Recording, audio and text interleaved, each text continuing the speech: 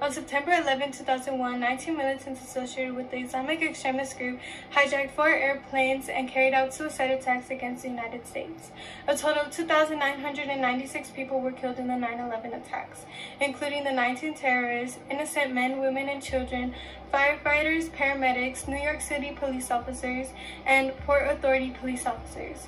New York City's economy alone lost 143,000 jobs a month and $2.8 billion in wages in the first three months. The names of all the victims are now written on 152 bronze panels outside the original World Trade Center. September 11 is Patriot Day and National Day of Service and Remembrance.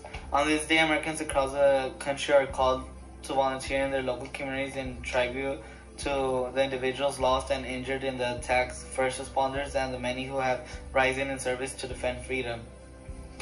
The 9-11 Tribal Remembrance honoring the 2,977 people killed by the by three planes that were hijacked and crashed into the Twin Towers of September 2000, September 11, 2001 at the World Trade Center site near Shanksville, Pennsylvania and the Pentagon.